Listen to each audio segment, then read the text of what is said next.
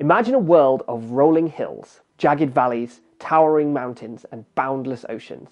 A world not far unlike our own. But if you were to look up, high above the clouds, a ceiling. If you were to look out, dotted among the hills and plains, supportive columns built by a huge hand. And if you were to look afar, you would see a wall impossibly high with windows and perhaps a door. The world of Colostle is a breathtaking landscape of adventure and possibility, all within impossibly massive rooms of an even larger castle. There's no outside.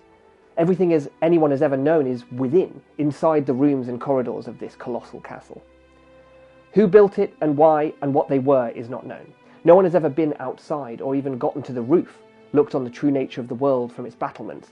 It is thought that the Colostle is infinite in every direction, Another room simply affords a view of further lands and seas.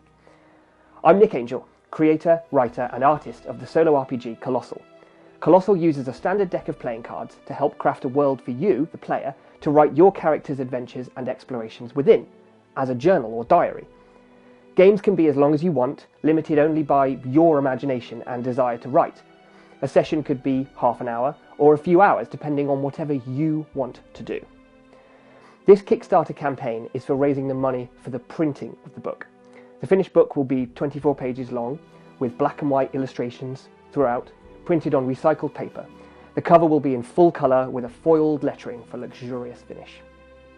The book contains the simple rule set for constructing and playing an adventure in the world of Colostle, along with information about the world and three unique and illustrated character classes for you to build your character around.